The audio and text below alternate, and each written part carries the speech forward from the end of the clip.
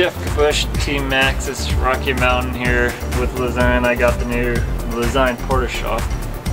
Kind of a, a, nice little package that you can use at home or travel with. Throw it in your bike bag or send your kid off to college with. It's basically got everything, or most everything you need for doing uh, most of your repairs at home. It's got full Allen key set and Torx and along with the another two with the Phillips flathead and, uh, some open uh, open wrenches.